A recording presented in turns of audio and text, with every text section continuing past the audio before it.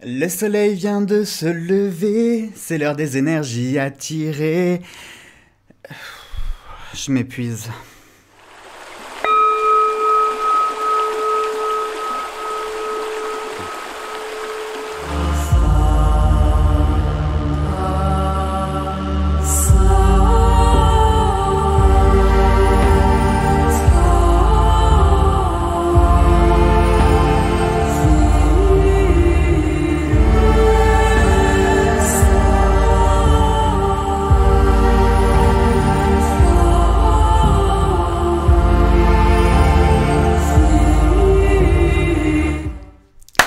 Mes chers amis, bonjour à tous et merci de me retrouver dans cette nouvelle vidéo pour faire nos énergies de semaine. Et oui, je vous avais averti qu'on allait arrêter le format d'énergie début de semaine, fin de semaine, etc. etc. C'est chiant, ça embête tout le monde, c'est pas pratique.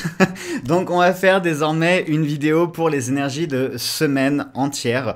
Et moi, ça me permettra de pouvoir vous mettre du contenu supplémentaire euh, dans le reste de la semaine. Euh, voilà.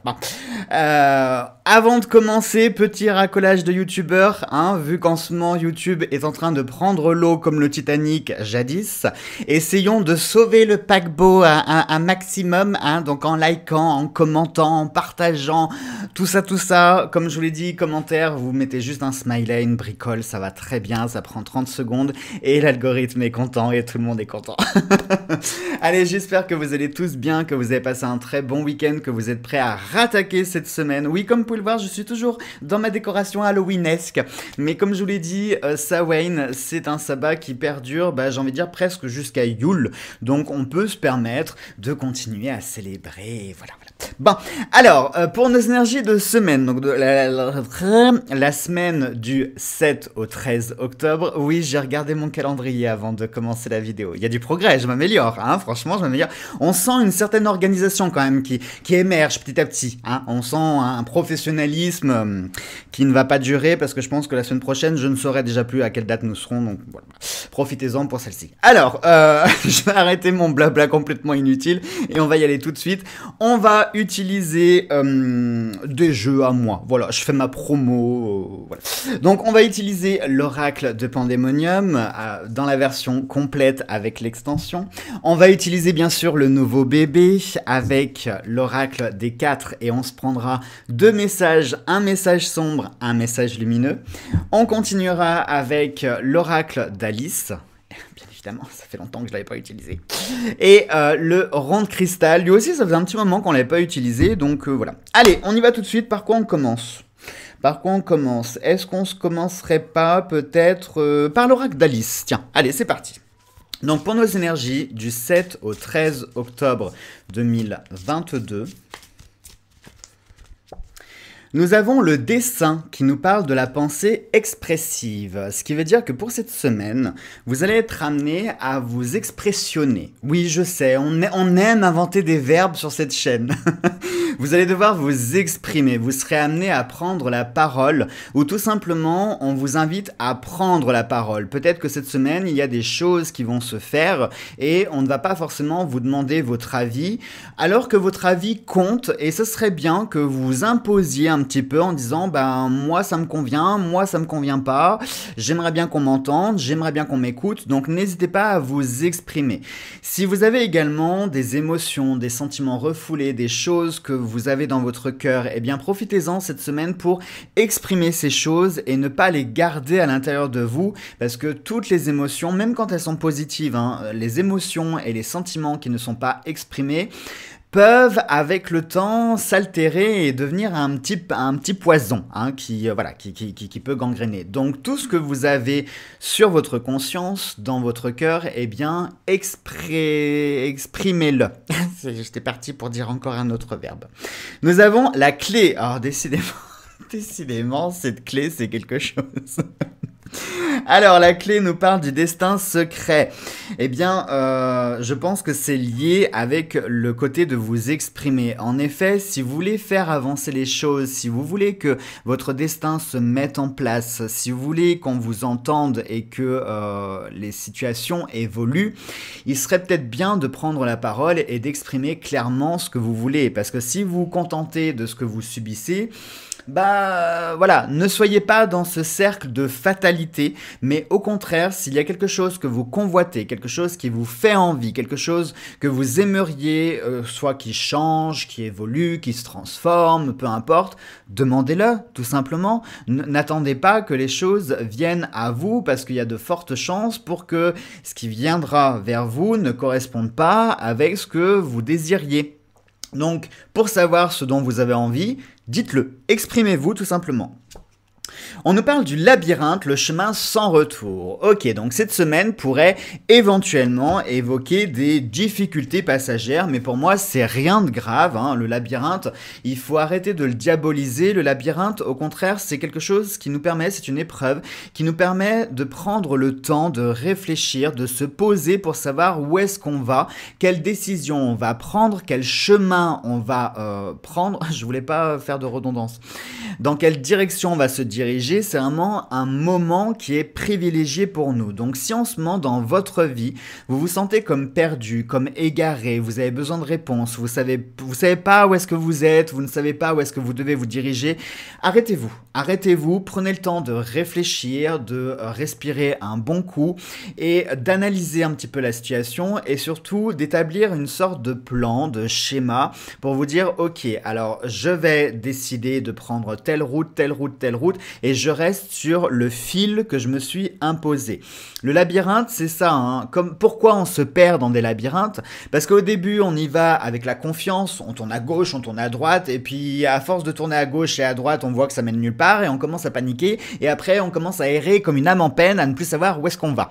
Non, dans un labyrinthe, il faut toujours rester organisé et cadré, et se donner toujours une direction ou un fil rouge à suivre. Et c'est comme ça qu'on sort d'un labyrinthe. Une épreuve, c'est exactement la même.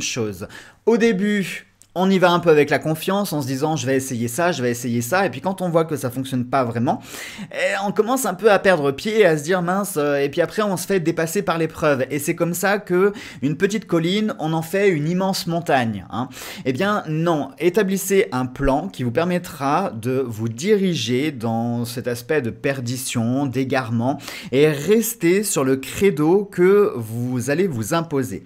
Et en dos de deck, on a le narguilé qui nous parle d'une dépendance récréative. D'accord. Donc attention ici, le narguilé euh, vous invite à être vigilant peut-être à soi quelque chose, euh, je sais pas pourquoi, avec le labyrinthe, ça m'évoque une zone de confort. Comme si vous étiez finalement euh, rassuré dans le quotidien dans lequel vous êtes. C'est-à-dire que toutes vos habitudes que vous avez mises en place agissent un peu comme une drogue. Et quand vous avez votre dose, vous vous sentez comme rassuré. Mais justement, c'est ça le principe d'un cercle vicieux, c'est que le cercle vicieux s'auto-alimente par les actions que l'on va prendre et qui vont venir encore nous enfermer dans ce cercle vicieux. Pour sortir d'un cercle vicieux, il faut au contraire casser les habitudes, prendre des choix et des directions dont on n'a pas l'habitude de faire et on n'y va pas tout doucement. Non, il faut que ce soit radical, il faut que ce soit cash et direct. Donc si vous voulez sortir de votre cercle vicieux, vous, pour créer un cercle vertueux, il faut que vous décidiez de choses qui soient radicales, un changement radical et changer vos habitudes, changer vos habitudes de faire, d'agir, de, réfléchir, etc., etc., pour vous diriger vers un autre chemin, quelque chose peut-être que vous n'auriez pas songé à explorer, mais qui pourrait s'avérer être euh, bénéfique pour vous puisque ça vous proposerait la sortie. Ok On va euh, compléter avec l'oracle de Pandémonium. Alors, nous avons l'ascension. Ah, ça c'est une jolie carte. L'ascension ici évoque l'idée justement de s'élever, de sortir de notre, habitat, hein, puisque ici on ne voit pas la Terre, mais on voit le ciel, l'univers, le cosmos, les étoiles.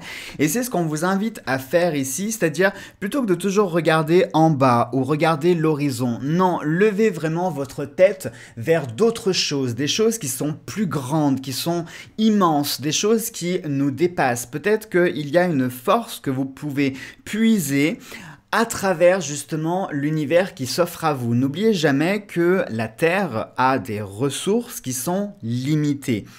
Ces ressources-là, une fois qu'elles sont terminées, qu'il n'y en a plus, ben c'est fini, il n'y a plus rien. Donc il faut puiser dans des énergies qui sont quasi infinies et l'univers vous propose justement des énergies qui sont quasi infinies. Donc plutôt que de chercher des ressources, des moyens qui soient, euh, comment on pourrait dire, qui soient terrestres, qui soient concrets, qui soient pragmatiques, essayez plutôt de vous diriger vers d'autres choses, vers, euh, comment on pourrait dire, un, un, ciel plus élevé, ou élever également votre taux de conscience, ça peut être élever aussi vos objectifs, vos buts, c'est-à-dire que je vous le dis souvent qu'il faut toujours y aller pas à pas, mais il faut aussi savoir avoir un objectif ultime. C'est-à-dire que, je vais vous reprendre l'exemple du régime. Ça faisait longtemps qu'on n'avait pas parlé du régime. Un régime, il faut toujours se fixer un poids idéal. Voilà, c'est-à-dire que vous vous dites, allez, je veux perdre 30 kilos. Ok, ça c'est votre objectif final, l'objectif ultime. C'est l'univers en gros. Mais vous n'allez pas perdre 30 kilos tout de suite. Ne vous mettez pas en tête de perdre 30 kilos tout de suite parce que ça va vous démoraliser, vous n'allez pas y arriver. Non, il faut y aller par étapes. On perd d'abord 5 kilos, puis après 10, et puis après ça stagne, et puis on en perd 1, on en perd 2, et puis on en repère à nouveau jusqu'à arriver à notre poids idéal, l'objectif final. Eh bien c'est exactement ce que vous devez faire, c'est-à-dire que pour connaître l'ascension, il faut pas viser tout de suite le haut parce que c'est sûr que vous n'y arriverez pas. Il faut y aller par étapes. Avant de conquérir l'univers, on va d'abord conquérir la planète voisine et puis le système solaire voisin, etc., etc., jusqu'à arriver à coloniser tout l'univers. Bon, ça c'est très utopique ce que je suis en train de dire.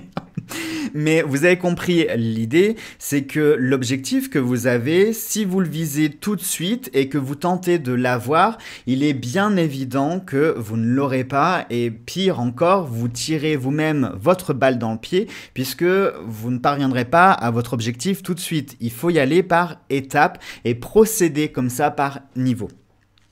Ensuite, nous avons le chaudron. Ah, le chaudron, c'est une jolie carte aussi. Le chaudron nous parle d'une émergence de la vie, de quelque chose qui est en gestation, de quelque chose qui doit prendre son temps, quelque chose qui doit mijoter. Ne soyez pas dans l'impatience, mais au contraire, prenez le temps de faire les choses. Pour faire une bonne soupe dans un chaudron, c'est pas le tout de balancer des légumes et puis euh, on fait cuire deux minutes et on consomme derrière. Non. Ce qui va donner tout le fumet à la soupe, c'est de la laisser mijoter de bien laisser infuser les, euh, les arômes, les légumes, la petite viande qu'on a mise. Et là, vous allez avoir une soupe qui sera délicieuse. Eh bien, c'est le même principe ici. Ne cherchez pas à aller trop vite. N'allez pas trop vite parce que hum, vous allez passer à côté de saveurs qui seraient bien meilleures si vous preniez le temps de faire les choses. Donc cette semaine, Prenez le temps de réfléchir, prenez le temps de vous poser, n'agissez pas sous le coup d'une impulsion, d'une action, d'une émotion, non. Au contraire, puisez dans ces émotions, puisez dans ce que vous avez en vous pour prendre le temps de réfléchir afin d'en extraire le potentiel maximum que vous pourrez utiliser ensuite. Nous avons la porte. Eh, on a eu la clé, on a la porte maintenant. Eh bien les amis, ça c'est quelque chose de très positif parce que ça veut dire que cette clé peut représenter aussi un outil. Il est possible que cette semaine, vous mettiez la main sur l'outil dont vous aviez besoin. Peut-être qu'à l'heure actuelle, vous êtes face à une sorte de porte, à un blocage, à quelque chose qui vous empêche d'accéder à l'autre pièce, qui vous empêche d'accéder à l'autre côté. Si vous tentez de forcer cette porte, hein, c'est pas comme dans les films en mettant des coups d'épaule, en se jetant contre la porte, non, cette porte ne bougera pas. Il faut, il faut utiliser un outil pour ouvrir cette porte. Cet outil, vous ne l'avez peut-être pas parce que tout simplement, il est peut-être égaré dans le labyrinthe. Regardez la carte de plus près. On peut y voir une croix dans le labyrinthe. Est-ce que cette croix pourrait représenter cette fameuse clé? Hein, est-ce qu'elle pourrait représenter euh, cet outil justement dont vous, avez, dont vous avez besoin? Eh bien, je vous invite à aller rechercher cet outil-là, à aller puiser dans vos ressources pour rechercher cette clé qui vous permettra ensuite d'accéder à la porte et surtout d'accéder à ce qu'il y a derrière la porte. Mais encore une fois, on est dans cette étape de prendre le temps de réfléchir, de faire les choses correctement par étapes, par échelon et surtout de chercher les outils dont vous avez besoin pour mener à bien votre quête. C'est ce qui vous attend cette semaine. Si vous avez un objectif en tête, cherchez d'abord les outils qui vous aideront dans votre quête et ensuite pourrez vous lancer vraiment dans le cœur de la quête. Et nous avons Caron en dos de deck. Caron qui symbolise la mort, bien évidemment. La mort, le cycle, le fait de euh, se connecter aussi, puisque Caron c'est celui qui relie, hein, c'est celui qui navigue sur le Styx et qui euh, prend les âmes avec lui pour les emmener aux enfers, dans le royaume oublié et plein d'autres choses. Donc ici, on a cette étape de transition, puisque quand on est avec Caron, on n'est pas en enfer, on n'est pas dans les limbes, on n'est pas dans le monde oublié, on n'est nulle part, on est avec Caron sur le Styx. Donc il y a ici une étape de euh, transition, quelque chose qui est transitoire. Et à l'heure actuelle dans votre vie, vous êtes peut-être dans cette étape de transition. Donc ne cherchez pas encore à atteindre votre destination puisque vous ne savez même pas encore où est-ce que vous voulez aller. Non, profitez de cette étape de transition pour faire un bilan complet sur vos envies, sur vos besoins, où est-ce que vous voulez aller euh, actuellement? Hein, puisque le Styx, il faut savoir que le Styx, c'est un des nombreux fleuves de l'enfer, c'est-à-dire qu'il n'y a pas que le Styx, il y en a d'autres. Autrement dit, vous aurez le choix de vous diriger sur d'autres fleuves. Hein. Ce n'est pas encore, euh, rien n'est définitif, rien n'est gravé dans le marbre. Donc justement, profitez de ce temps pour redéfinir exactement vos objectifs, vos priorités, exprimer aussi ce dont vous avez besoin, rechercher les outils dont vous avez besoin, et une fois que vous aurez tout ça en votre possession, eh bien là, pourrez-vous décider en disant, ok, je prends tel fleuve, tel fleuve ou tel fleuve. Voilà. Allez, on va maintenant poursuivre avec un petit message de l'oracle des quatre. On va commencer par le message sombre. Alors, pour le message sombre, nous allons avoir... Nous allons avoir Monsieur Samael, qui nous dit, qui nous parle d'accident. Ton imprudence pourrait te coûter cher si tu ne manifestes pas davantage de vigilance et d'attention. Tu cours vers ton propre drame. Tu auras été prévenu. Il est encore temps d'agir avant qu'il ne soit trop tard. Donc là, Samael nous donne un avertissement. Il vous invite à être vigilant, à faire attention justement, parce que là, il est en train de vous dire que si vous continuez sur ce chemin-là, si vous continuez soit à vous obstiner, à vous attacher, à, à vous borner, eh bien, c'est vous-même qui allez créer votre propre drame. Donc ne venez pas pleurer ensuite, ne venez pas vous victimiser ensuite. Vous aurez été à la fois votre cause, votre conséquence, votre juge votre, bureau, votre bourreau, votre bureau, votre bourreau, vous ne pourrez vous en prendre qu'à vous. Cependant, il est encore temps d'agir. Vous pouvez non pas faire machine arrière, mais vous pouvez encore changer la trame du destin et changer l'évolution de euh, l'évolution de la. J'ai failli faire une grosse redondance. L'évolution de la situation. Donc prenez le temps de réfléchir, de vous poser, d'analyser justement la situation pour en tirer les bons enseignements, les bonnes leçons, afin de ne pas vous diriger vers cet accident-là. Je prends un exemple très concret, hein, euh, la voiture, c'est ce qu'il y a de plus parlant. Très souvent, la plupart des accidents, et c'est prouvé, sont faits sur des routes que l'on connaît par cœur. Parce que justement, comme on connaît ces trajets par cœur, on est là, on se la joue confiance en se disant ouais oh bon c'est bon la voiture va rouler toute seule et justement on est moins vigilant donc c'est comme ça qu'on provoque un accident.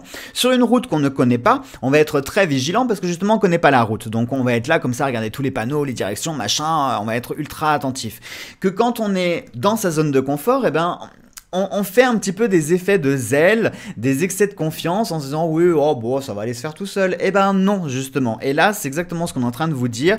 Ne faites pas d'effets de zèle, ne relâchez pas votre vigilance et votre attention, mais au contraire, maintenez-les en alerte. Allez, maintenant un petit message lumineux. Alors, pour le message lumineux, nous avons Monsieur Lucifer qui nous parle de sincérité. Je te donne ma parole qu'il n'y a pas une once de malhonnêteté et de malignité derrière ce que tu vis. Tu peux avoir confiance, même si cela te paraît trop beau pour être honnête.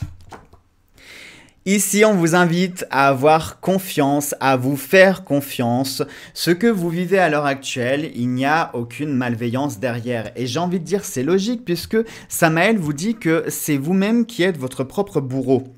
Donc effectivement, là, c'est la faute de personne, ça va être votre propre faute. Si vous ne, si vous n'êtes pas attentif, si vous ne faites pas ce qu'il faut faire, si vous ne vous remettez pas en question, si vous ne décidez pas de reprendre votre vie en main, votre destin en main et de chercher les outils et de faire tout ce qu'il faut faire, à savoir vous exprimer, vous imposer, etc., ne venez pas vous plaindre en disant oui, c'est les autres. Non, non, non, c'est toi et toi tout seul tu avais ta chance, il fallait parler au moment où il le fallait, il fallait saisir les opportunités qui sont présentées à toi ou aller les chercher tout simplement. Hein. Mais tu as préféré rester vautré dans ton canapé à regarder Netflix, bah viens pas te plaindre maintenant. Hein, voilà. Mais sachez-le, dans la situation que vous êtes amené à vivre ou pour cette semaine, si on vous propose, je sais pas moi, des contrats, des, associations, des discussions, des plein de choses, il n'y a pas de malveillance derrière, d'accord? Même si euh, il y a chose qui vient à vous et vous dites non mais ça, ça, ça c'est trop joli, ça, ça cache un truc, c'est pas normal. Bah non, il y a rien, il y a rien. Arrêtez d'être paranoïaque, il n'y a strictement rien. Donc prenez tout simplement ce qu'on vous propose, ce qu'on vous offre, ce qu'on vous donne. Il n'y a strictement rien à craindre, il n'y a aucune malignité derrière. Voilà. Allez, on va terminer maintenant avec euh, trois petites prédictions du rond de cristal. Ah, ah, ah, on, a une carte qui vient de sauter et c'est une évolution en perspective. Eh bien ça c'est plutôt positif. L'évolution, quelle qu'elle soit, elle est toujours positive. Même si l'évolution se fait à travers des choses négatives que l'on peut vivre. Hein. Les épreuves sont pour beaucoup considérées comme des choses négatives, mais les épreuves sont en fait salvatrices et formatrices. Parce que justement, vous allez pouvoir tirer des leçons. Quand tout va bien dans votre vie, vous ne tirez aucun enseignement et aucune leçon, et pire encore, après vous vous complaisez dans quelque chose qui vous paraît être acquis, normal, dû, etc. Eh bien non. Il faut au contraire des épreuves parce que ça va vous permettre de vous former, de vous forger également, de tirer des leçons et de comprendre que vous avez soit le potentiel pour passer au-dessus, que vous pouvez euh, avoir accès à telle ou telle ressource, que vous avez des alliés ou machin, bidule, truc, bref. Ici, on nous parle d'une évolution en perspective pour cette semaine, donc pour moi, c'est quelque chose qui est très positif. Allez, on va s'en prendre trois. Une vérité révélée. Ah, eh bien oui, là encore, j'ai envie de dire, c'est logique. Si vous prenez la parole, si vous vous exprimez cette semaine, c'est peut-être vous qui allez révéler une vérité, ou tout simplement que vous allez obtenir aussi des réponses. Si vous vous contentez de ce qu'on de, de qu'on vous donne, de ce qu'on vous dit, sans chercher plus loin, vous obtiendrez jamais rien à part la version qu'on vous a donnée. Mais si vous posez des questions et des questions qui vous tiennent à cœur, des questions qui viendront vraiment orienter les réponses que vous souhaitez obtenir, eh bien c'est comme ça que vous allez avoir la réponse. D'accord? Enfin la vérité. Deuxième prédiction, nous avons, nous avons une signature. Euh, une signature, les amis, bah oui, là j'ai envie de dire, c'est un peu logique. On a eu la clé qui est sortie. Je vous rappelle que la clé, c'est quand même un symbole qui est positif. On a le labyrinthe qui se présente sous la forme d'un parchemin, d'un papier. Donc on peut y voir effectivement une signature. Et en plus, la clé avec la porte, c'est vrai que sur le coup, j'ai oublié de vous le dire, mais ça m'a évoqué un emménagement, un déménagement, l'accession à un local, l'accession à quelque chose. Généralement, quand on vous donne les clés de quelque chose, c'est que forcément il y a une signature derrière. Hein. Si on vous donne les clés d'un nouvel appartement, d'une maison, d'une voiture, c'est que vous avez signé quelque chose. Si on vous donne les euh, clés euh, du bureau de l'entreprise, c'est que vous avez signé un contrat. Vous voyez ce que je veux dire? Donc à partir du moment où on vous donne les clés, il y a un contrat implicite qui est signé. Hein. Il n'y a pas besoin de l'interpréter, c'est assez facile ça quand même. Et nous avons une action à entreprendre. Eh bien oui, l'action, je viens de vous la dire, l'action à entreprendre pour cette semaine, c'est de prendre la parole, de vous affirmer, de vous exprimer, de ne pas garder les choses pour vous. De... Ça peut être aussi des prières envoyées à l'univers avec l'ascension. Hein. Peut-être exprimez-vous à l'univers, exprimez vos demandes, exprimez vos vœux. Si vous n'exprimez jamais rien, ça viendra pas euh, tout cuit dans la bouche. Ça, je vous le dis souvent, demandez, vous recevrez. Hein. Le Christ vous le dit aussi. Donc, euh, comme quoi, on est assez raccord. non, mais c'est vrai, demandez et vous recevrez. Et ça, je peux vous le dire par expérience personnelle. Depuis quelques mois, il y a des choses que j'ai demandées qui sont arrivées. Bon, il y a aussi des choses que j'ai pas demandées qui sont quand même arrivées.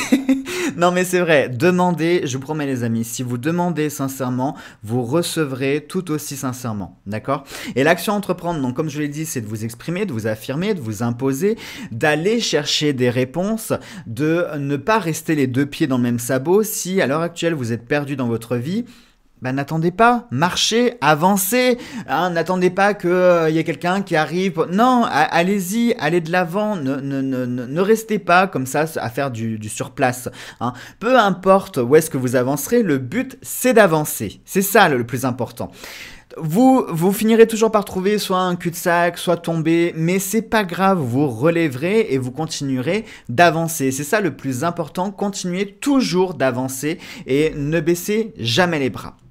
Voilà donc mes chers amis pour nos énergies de cette semaine. Eh bien je trouve que euh, c'était extrêmement intéressant et extrêmement enrichissant. N'hésitez pas à mettre en commentaire si vous aimez ce format-là euh, sur la semaine et, euh, et on l'adoptera officiellement même si je suis quasiment sûr que vous allez adorer ce format. Quant à moi, je vous embrasse fort. Je souhaite de passer une très belle semaine. Enfin on se retrouvera avant, rassurez, rassurez-vous, on ne se revoit pas dimanche prochain. Non, on se verra avant. Prenez bien soin de vous. Bon courage à vous pour cette semaine. Je vous embrasse et à très vite dans de prochaines vidéos.